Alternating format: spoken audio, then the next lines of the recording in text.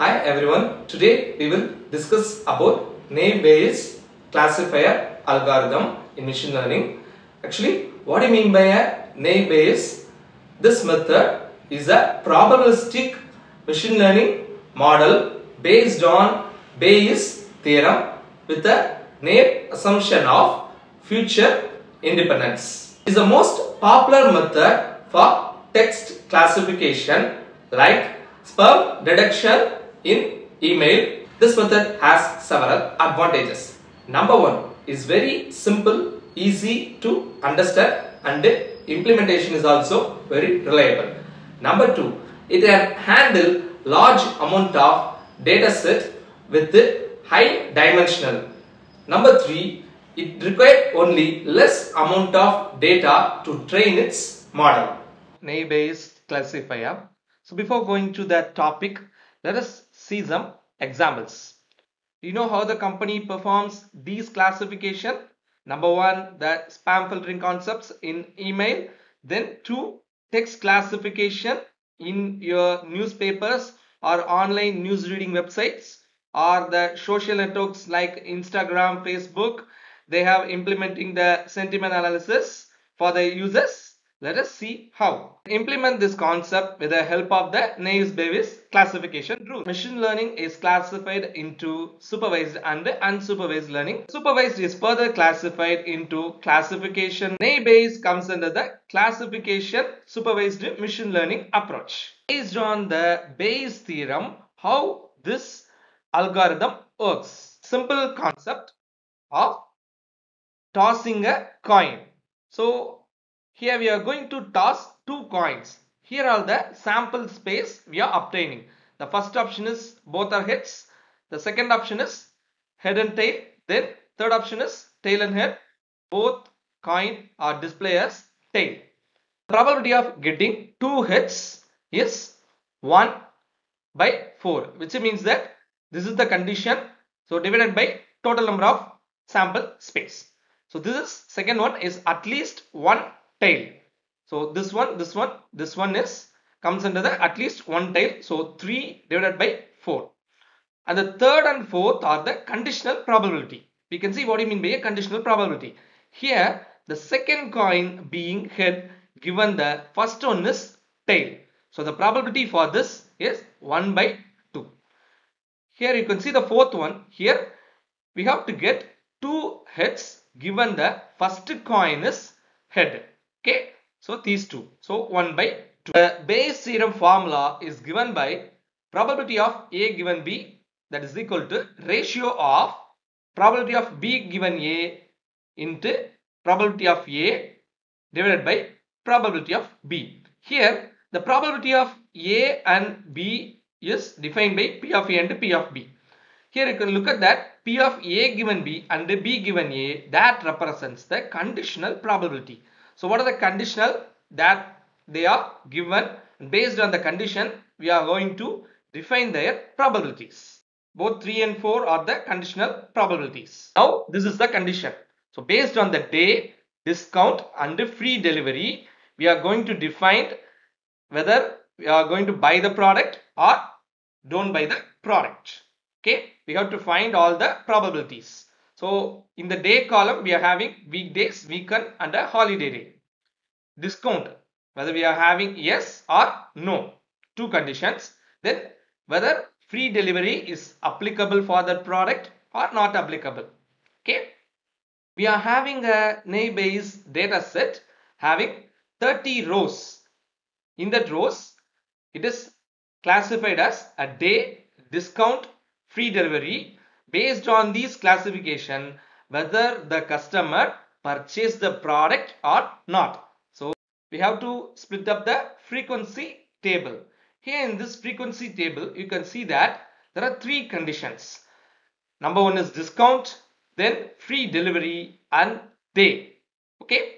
So based on the discount whether we buy or not buy. So based on the days whether we buy or don't buy based on the free delivery whether we buy or don't buy. Okay, when we sum up all the values on this table, we can get the total samples 30.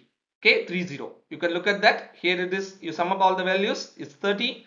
Here also is 30. Here also is 30. So these are all the condition. Here, this buy option that defines as A. Okay, so this is the event. Then this day, free delivery and discount, these are all independent variables. This is defined as P. Okay, so all the independent variables are defined as P and this buy option is classified as A. So previously we split up the data into three tables. Among the tables, we have chosen the day option first. Okay, so in this day option frequency table, we have to define the likelihood table from this frequency table. Okay, now we can see this. Here, weekdays, weekend, holiday, whether that person buy or not. This is the condition. So first you have to add all the terms. You get 24 in S option. In no option, you can get 6. Okay. In column base, you have to add. Then we can find whether the person buy or don't buy. To sum up all the terms and add one extra row here, extra column and you have to sum up all the values there. Now you can see from this table how a likelihood table is calculated. Here you have to substitute this 24 in all the S values. So 9 divided by 24, 7 divided by 24, 8 divided by 24. Okay. Here in the no option, you have to substitute this value. So 2 by 6, 1 by 6 and 3 by 6. Okay. So this is how this value comes here. Okay. Now we know the total dataset value is 30. So 24 divided by 30 comes here. Then 6 divided by 30. Okay. Then in the row wise you can see that 11, 8, 11. So 11 by 30, 8 by 30, 11 by 30 which means that it is divided by the total sample space value. Here P of B that represent a weekday. It is defined by 11 by 30. You can see this is a weekday. Okay. Whether the person buy or not both comes under this condition. So on weekday it is defined by P of B. It is 11 divided by 30. So it is 0.37. Okay.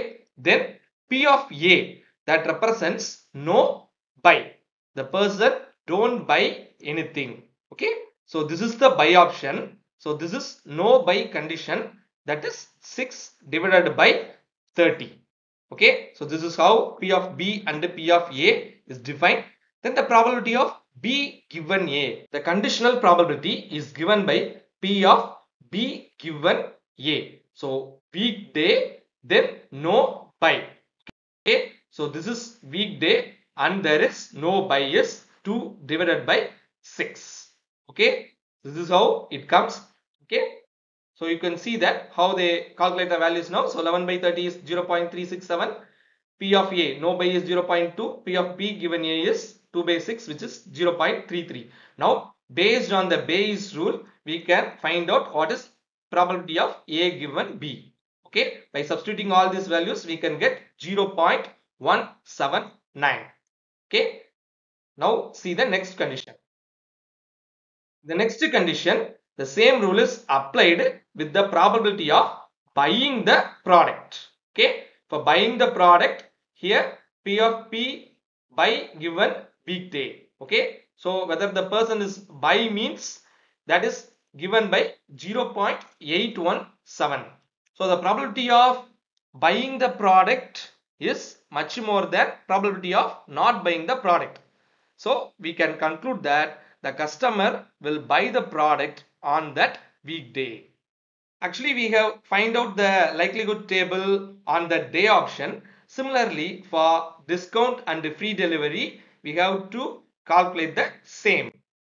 You can see this is how we calculated for day. This is the frequency table for day. From that, we can calculate the likelihood table. Based on that, for discount also, we are calculating. Then for free delivery also, we calculating the same likelihood table. Now we have to calculate the conditional probability on the following data. If a purchase is made on the day means the condition probability is find by probability of A given B. The day is holiday. We have made the purchase. So 8 divided by 24. It comes here. Then discount is available. So we have made the purchase. So now 19 divided by 24 here.